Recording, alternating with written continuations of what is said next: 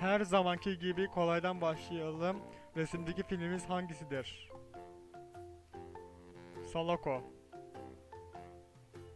Her paşa gerçek olmak zorunda mı? Bu seferki sahte paşa.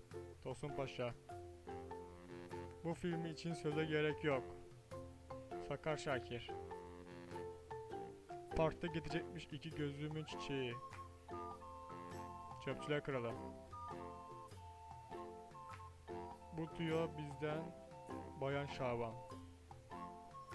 Şabaniye. Peki usta oyuncunun oynadığı ilk filmi hatırlıyor musunuz? Tatlı Dilim. Peki ya Kemal Sun- Sunal'ın böyle tövbe estağfurullah bir vazifesindeki görüntü filmi sorsak? Hanzo.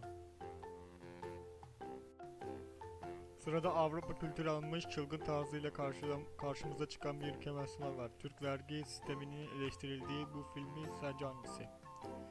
Katma değer Şaban. Hantal adalet sistemi yüzünden ömrü mahkeme salonunda geçen Yunus karakteri ne hayat verdi film.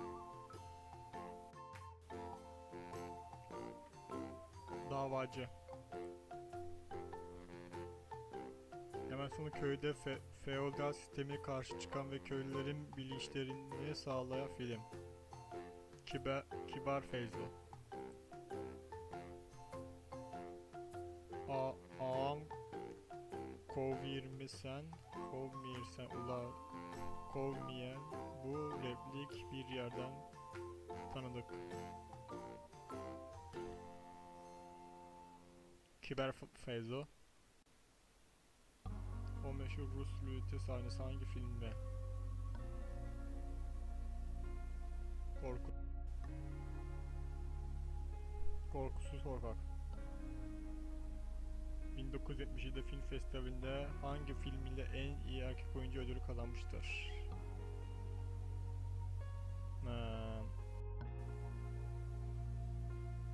Kapıcılar Kralı. Şab Şaban oynak bir şey çal. Bu unutulmaz replik. Şabanoğlu Şaban. Sizi üze son duruma geldik. Kemal Sunal'ın çekimlerine giderken vefat etti film hangisi? Balayka. Büyük Büyüksün üstad. O karşımızda gerçekten sağlam bir Kemal Sunal hayran du- duruyor. Kemal Sunal filminin büyük bir çoğunluğunu izlemişsin. İyi de yapmışsın, ağzın tadını bilen bir sinema seversin. Böyle bir başarı elde ettiğin için seni kutluyorum. Üst, üstadın filmleri adın gibi bilmen gurur verici. Senin gibiler var oldukça bu ülke Kemal Sunal'ı asla unutmayacak.